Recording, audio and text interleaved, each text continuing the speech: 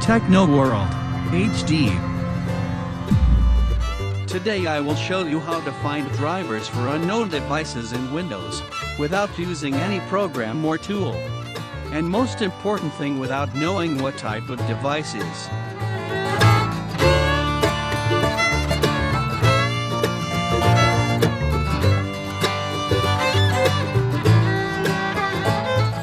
The process is very simple. We have to go to my computer, right click, and then manager. After we go to device manager, we find the missing driver and right click to the missing driver and properties. After we go to details and in the property field we chose hardware identification. We need to copy the first field that contained all the information of the driver we need. Now we need to open a browser and to paste the information we copy before to Google search.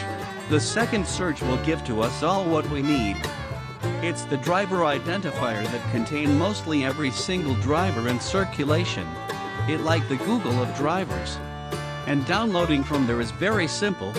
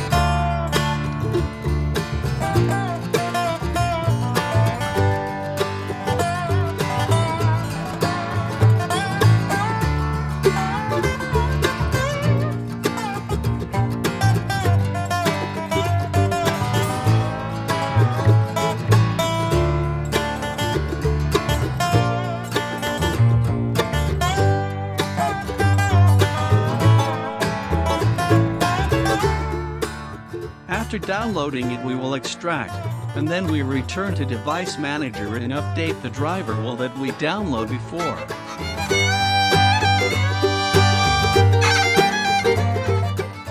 Click on the second option, browse my computer for driver software and find the destination we extract our driver.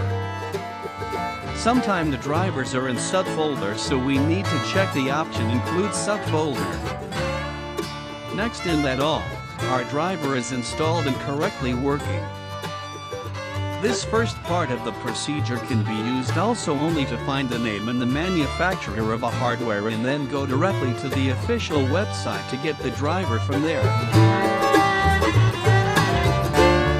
If you follow this guide you will never install an incorrect driver on your PC. Thanks everyone for watching. As usually any like, comment or subscription will be appreciated. Catch you all in the next video.